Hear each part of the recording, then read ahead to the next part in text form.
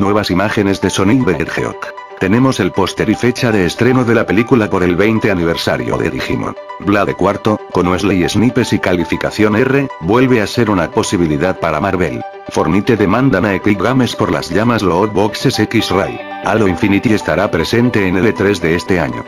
El público pierde la esperanza ante las nuevas imágenes de Sonic the Hedgehog. El famoso erizo azul Sonic, creado por Sega en 1991 para competir contra el titán Nintendo, recibirá una adaptación fílmica este mismo año.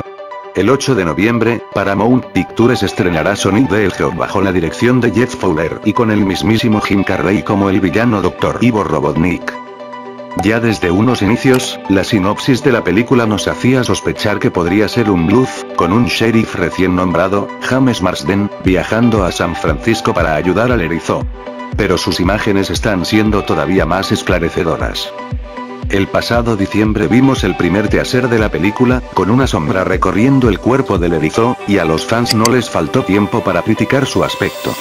Poco más tarde se fueron filtrando más imágenes del protagonista y, efectivamente, a los seguidores continuó sin hacerles gracia. Pero ahora hemos podido ver el aspecto mucho más detallado, y las críticas siguen adelante. El origen de las nuevas imágenes provienen de la agencia Amagami Carroll, quienes las publicaron y retiraron rápidamente, pero ya era demasiado tarde y todo internet las había visto. Podemos observar fichas del personaje a replicar físicamente, así como su personalidad y sus características. Puede que el espíritu siga vigente, pero desde luego su aspecto sigue sin convencer a nadie. ¿A ti qué te parece el aspecto? Tenemos póster y fecha de estreno de la película por el 20 aniversario de Digimon. Digimon fue uno de los fenómenos animados más importantes de los 90. En un momento en el que Dragon Ball comenzaba a palidecer y Pokémon era una alternativa demasiado infantil, la serie de Toy Animation surgió para abrir la mente de millones de niños nacidos en la época. Este año la serie cumplirá 20 años, así que el estudio ha decidido lanzar una película, Digimon Adventure de Movie, que servirá como homenaje para una serie y franquicia de videojuegos y juguetes, que sigue estando presente en la cultura popular. La noticia llega junto a un póster emotivo en el que aparecen Tai y Agumon cogiéndose de la mano y una fecha aproximada de estreno. Principios de primavera. Dentro de muy poco podremos ver la película que transportará a muchos directamente a sus infancias, con los mismos protagonistas de siempre y una aventura completamente nueva. En Digimon Adventure de Movie, los personajes ya son adultos veinteañeros, al igual que los fans que siguieron la serie de niños. Además, es de recibo recordar que antes de la película podemos ver Digimon Adventure 3, una serie de ovas, producciones cortas, donde vuelven a aparecer los niños elegidos.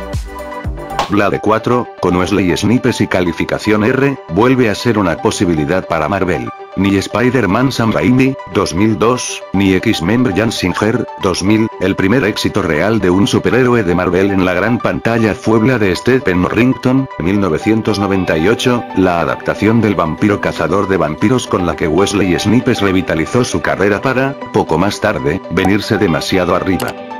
La buena acogida hizo posible la genial secuela de Guillermo del Toro, Blade y 2002, pero las cosas se fueron torciendo durante el rodaje de Blade Trinity, David S. Goyer, 2004, y su pésimo resultado obligó al resentido chupasangre al ataúd.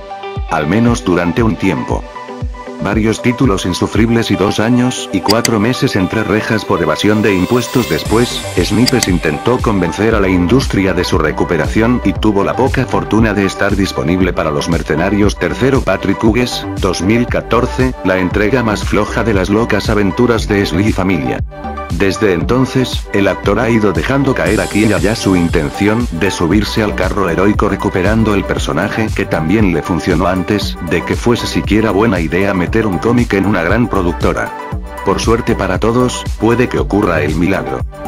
Diferentes webs norteamericanas, como MovieWeb, se han hecho eco de un rumor de procedencia incierta que asegura que en los despachos de Marvel Studios se está moviendo actualmente un proyecto con el que resucitar a Blade en la gran pantalla, con Wesley Snipes y calificación R. Según dicha información, ya hay un guion oficial en el que veremos cómo Eric Brooks, Blade, entrena a su hija, Fallon Grey, posible heredera del duro y sanguinolento trabajo de su padre. Repetimos, es un rumor impreciso, es probable que salga de la calenturienta imaginación de un fan con ganas de colmillos, gafas de sol y musicote pero, por otro lado, no sería extraño ni que Marvel estuviese planteándose este regreso ni que esto se trate de una especie de globo sonda lanzado a las redes para investigar la respuesta del público. Fornite, demandan a Epic Games por las llamas loot boxes, según el portal de noticias de Verge, unos padres descontentos presentaron una demanda a Epic Games, afirmando que las cajas de botín en forma de llamas, son una forma depredadora para estimular las apuestas en los niños, induciéndolos a pagar por contenidos cosméticos.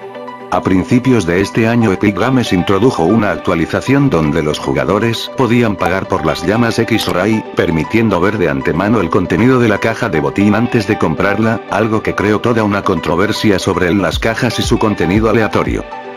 Halo Infinity estará este año en L3, según Bonnie Ross CEO de 343 Industries, en entrevista con IGN, confirmó de manera directa, que el juego tendrá presencia en la feria de videojuegos más grande del mundo, sin dar ningún detalle sobre qué se podría presentar, muchos especulan sobre un tráiler que muestre un gameplay, enfocándose en las nuevas tecnologías de la siguiente generación de consolas.